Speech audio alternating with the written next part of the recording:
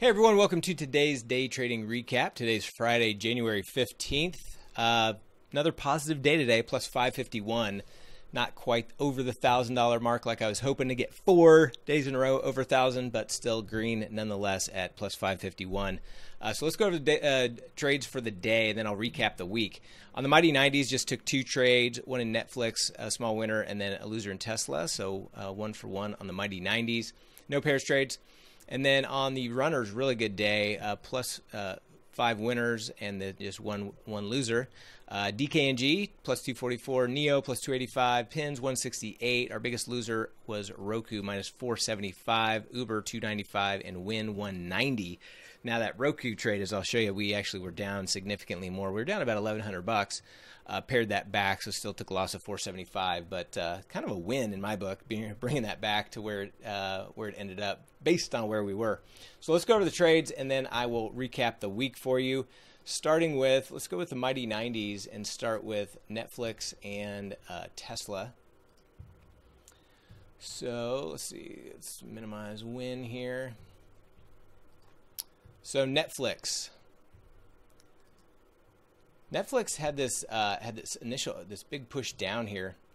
We got long right here, which is was a really good entry, and it looks like it had a great bounce. The options just the calls that we had just were not paying us in relation to the size of the bounce of the stock price in my mind.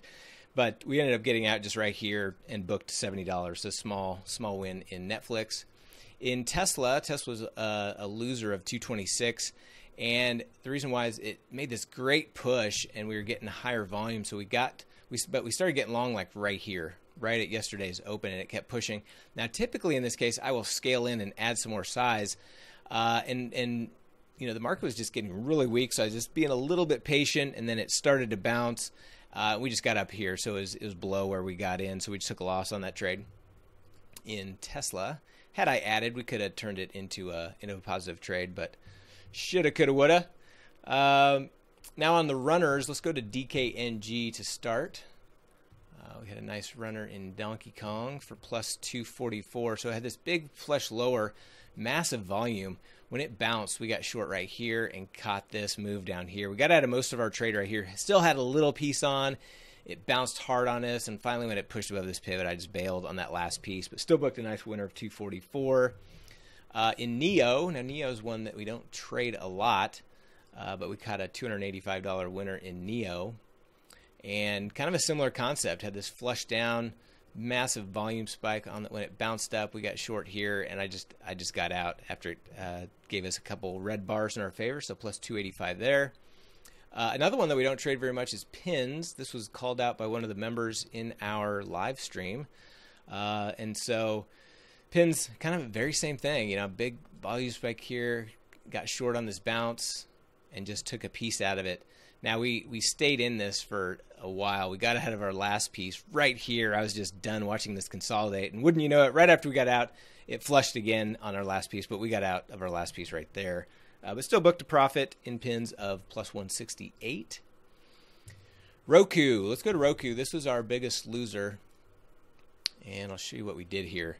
Uh, so we had this uh, on this initial move up. We had this pretty big volume spike here, and so instead of playing it like a mighty 90, we played it like a uh, an upside runner. And so we waited for this pullback, and so got long right here.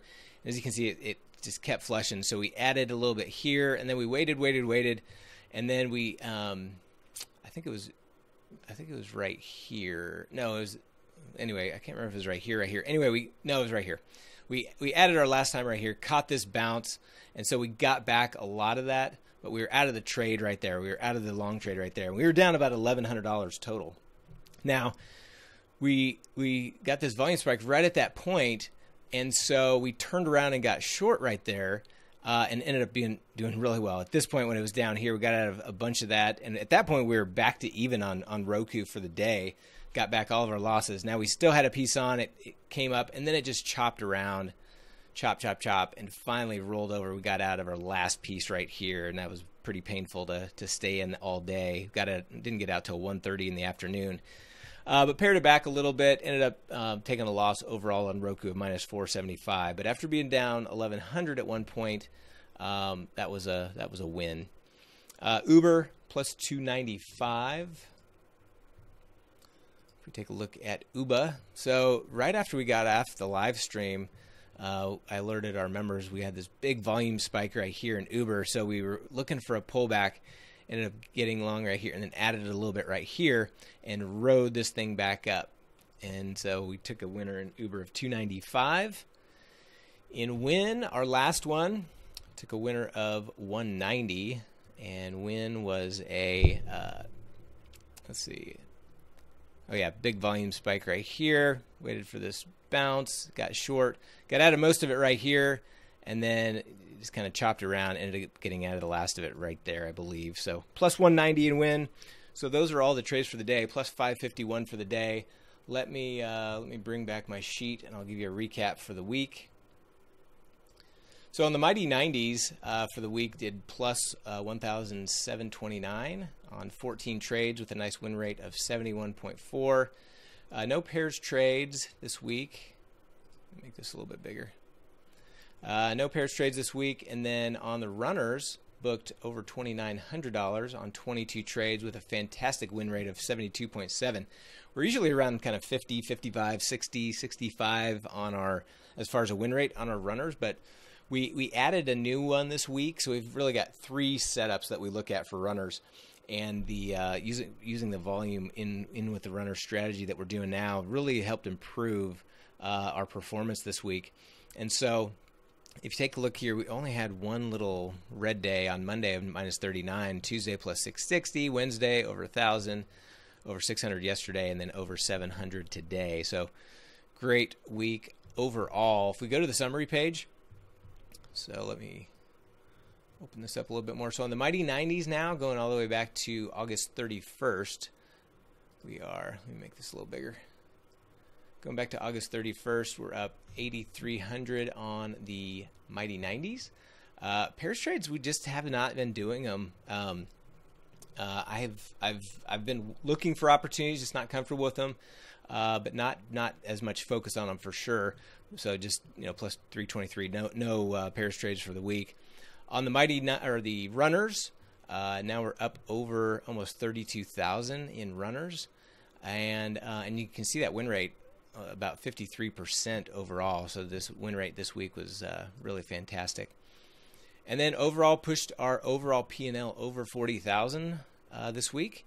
842 trades in and you can see a, a monster week overall, plus 4,698 on the week. Um, if we go back, I mean, that's the best week that we've had going back until September 14th, where we had a $7,000 week and a $5,000 week before that. Just caught some monster runners over that couple week period.